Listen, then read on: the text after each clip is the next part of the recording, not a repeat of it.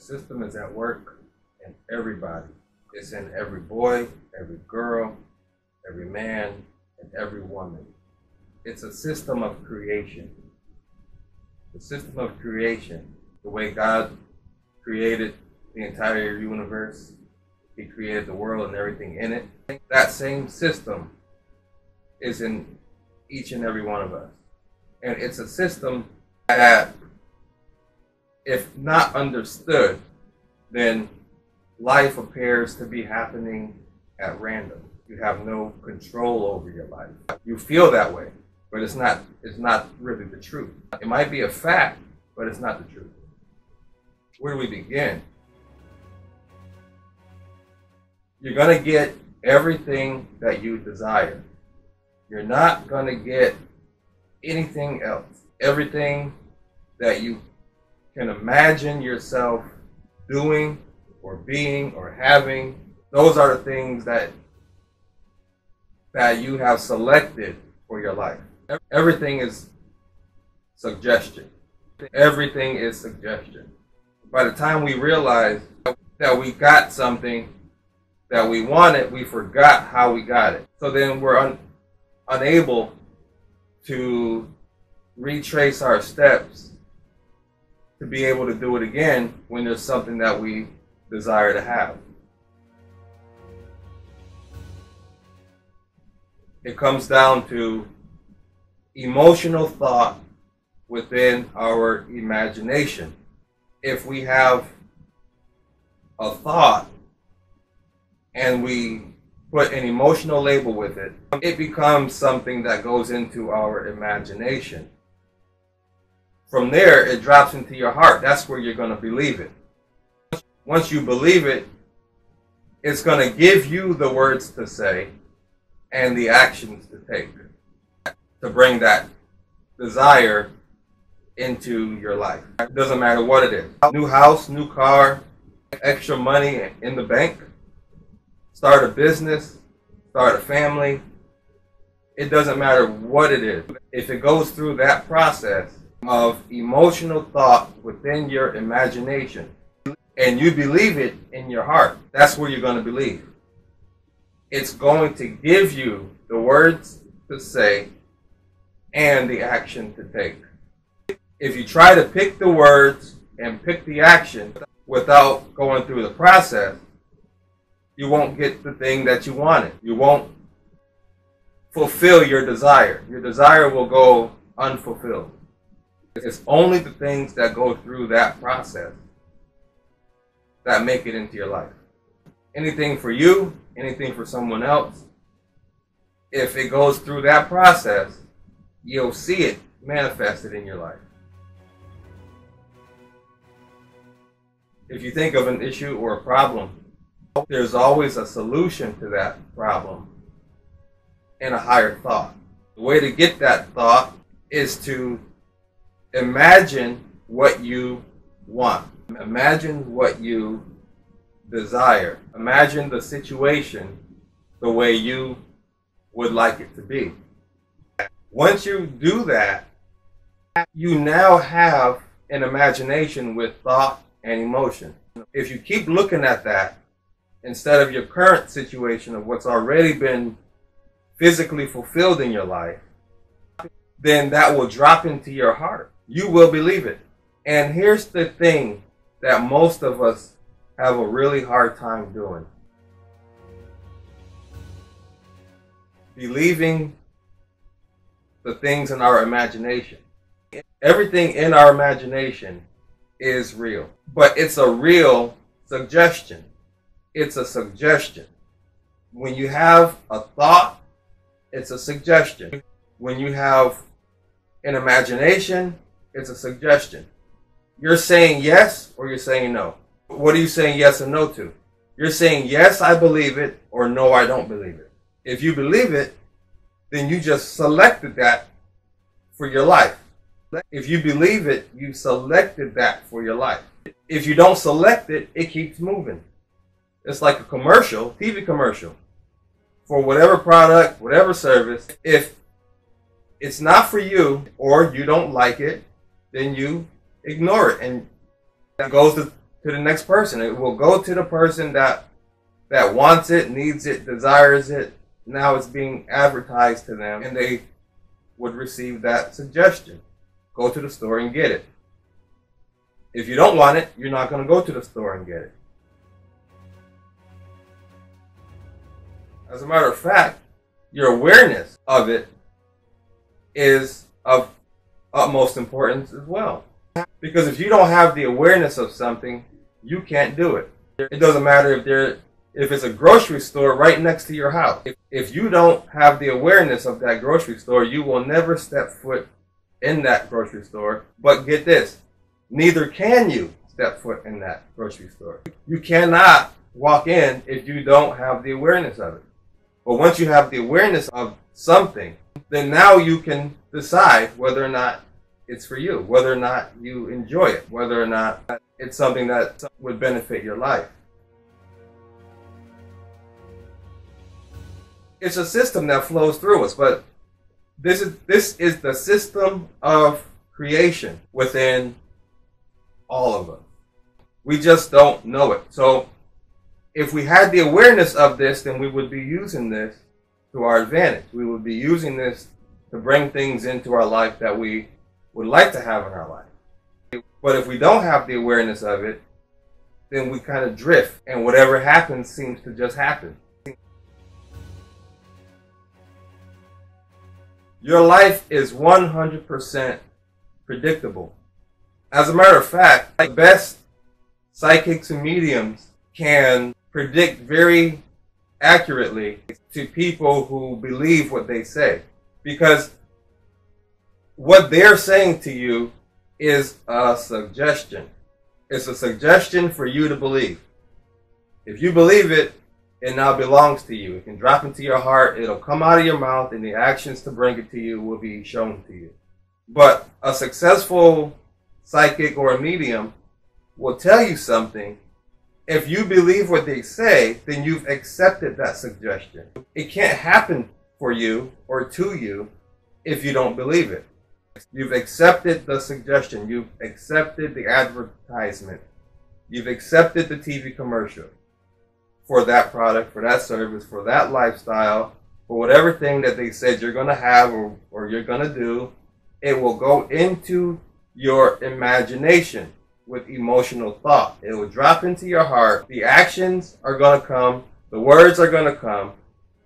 And you're going to have it. A blessing can't work unless you believe it. And a curse can't work unless you believe it. If you look at anything that you've ever gotten in your life, ever, you can trace it back to emotional thought within your imagination. You can find the thought that you were thinking that brought that thing to you. The emotional thought is that seed that goes into your subconscious mind and goes into your imagination. It's going to be the very thing that forms your life.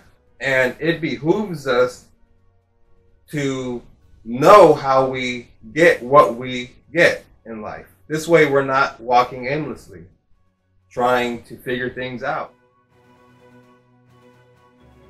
You don't have to figure anything out.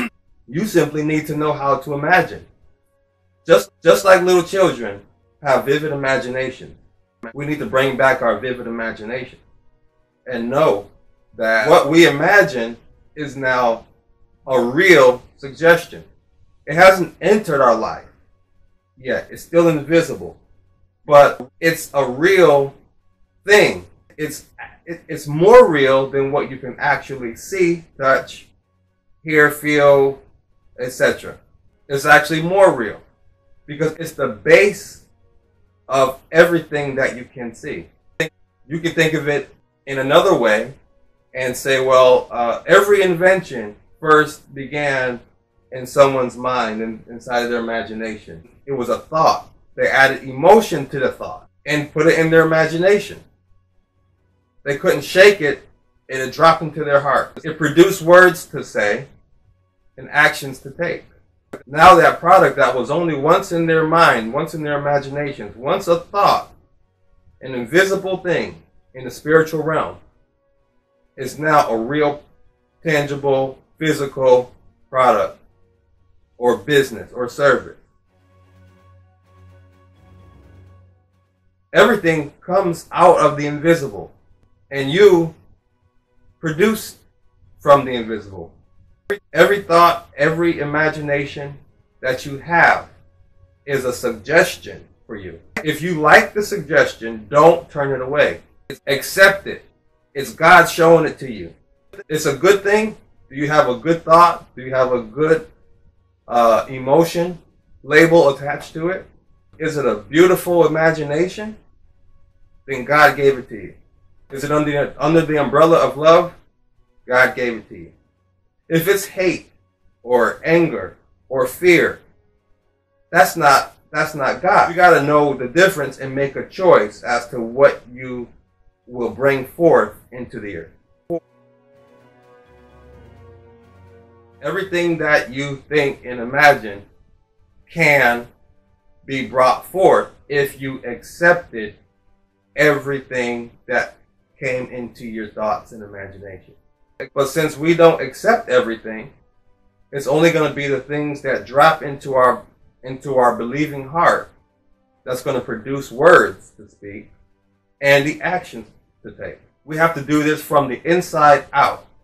The inside out. We have to go inside and out. If we attempt to, to, to fix our issues or our problems or our situations from the physical world, from the physical side of things, that's an uphill battle.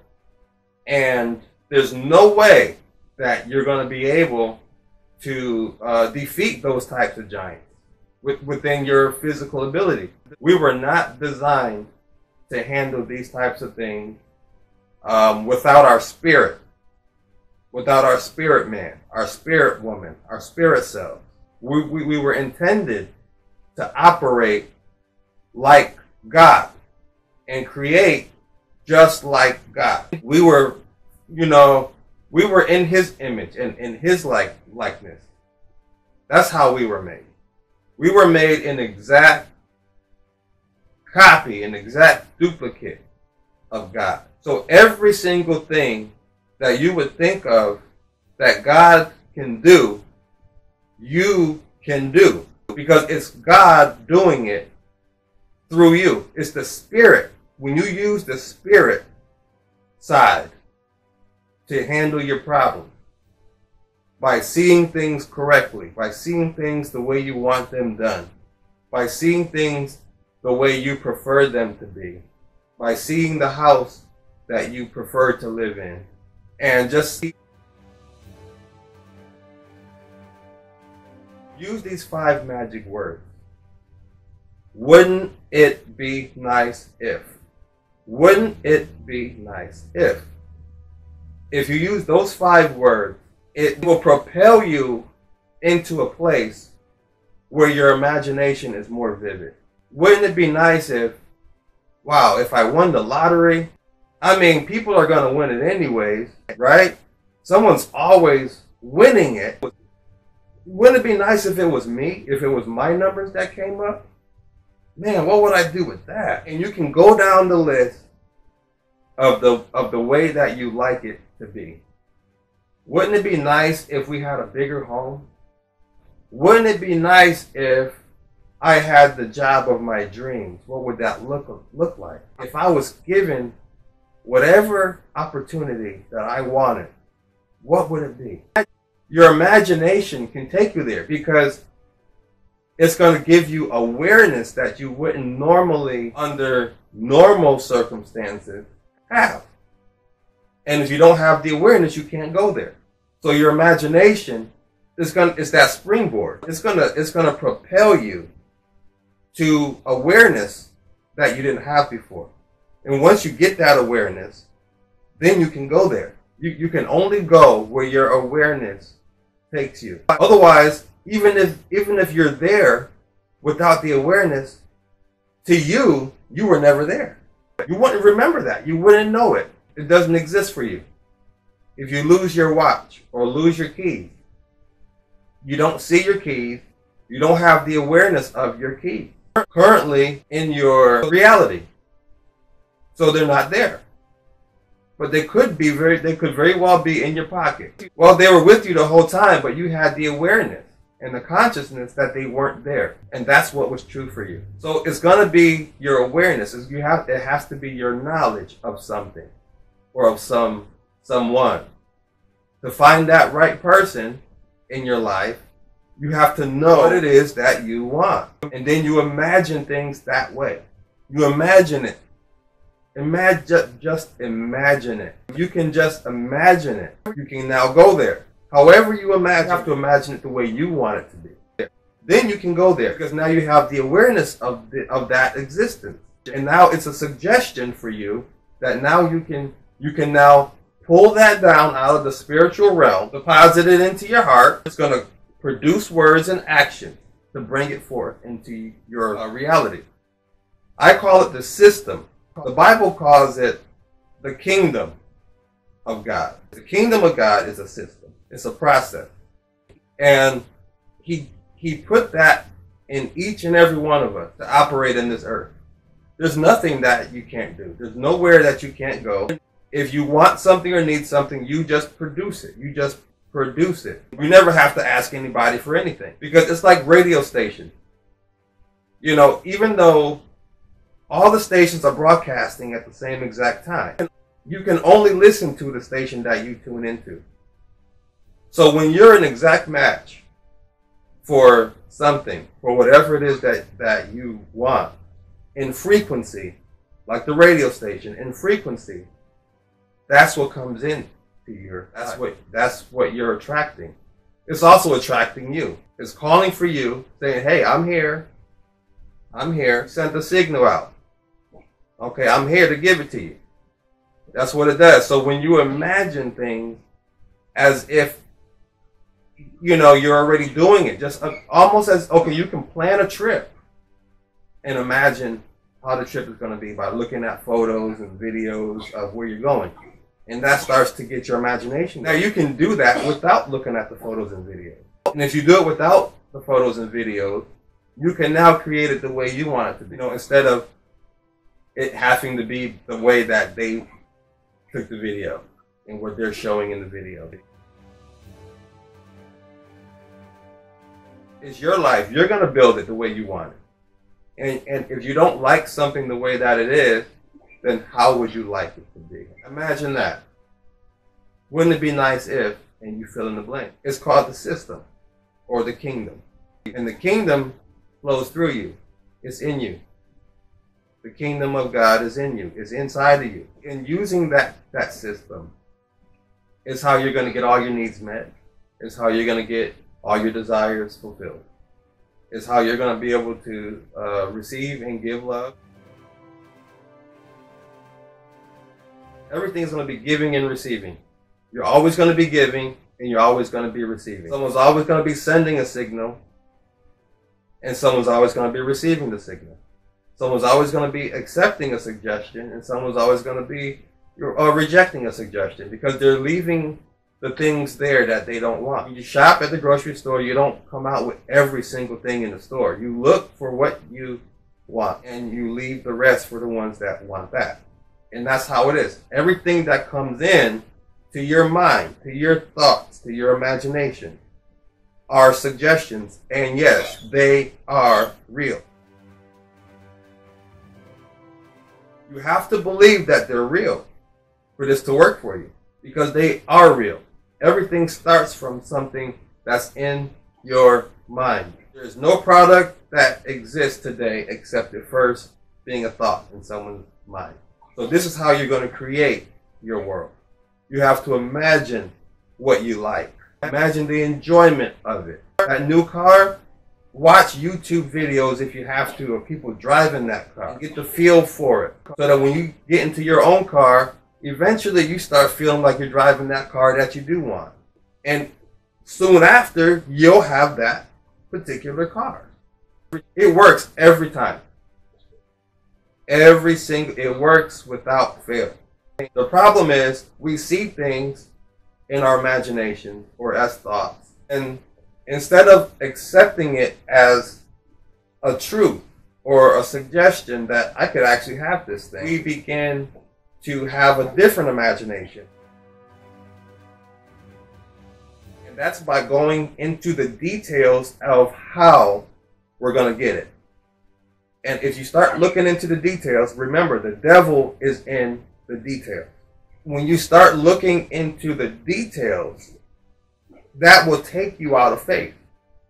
It takes you out of faith. You cannot be looking for how it's going to happen and be in faith at the same exact time. It's impossible.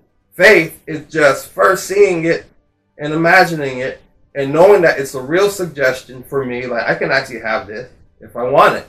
I'm selecting it if I want it. When you select it, it's yours and you're going to have it. That's what faith is. But if you start looking into the details of how it's going to come about, then that's when you drop out of faith. You don't believe, you don't have faith, you can't get anything this way. Then you then you have to continue um, with the system that's already currently in place in the world. You know, buy the house, have the children, whatever it takes for you to get those things in the world through the world system is how you would have to do it. Now, for the rest of us, I mean, that prefer to live without limitations, this system will get you all of those things if you see things right. You see things in the way in which you produce those things instead of you going out to try to get those things you're going to be able to produce those things and you'll see those things in your life as you believe it. Learning to believe the imagination is crucial. Believe the imagination. It's a suggestion for you. It's a thought to put your awareness there. Because if you put your awareness there, you can go there.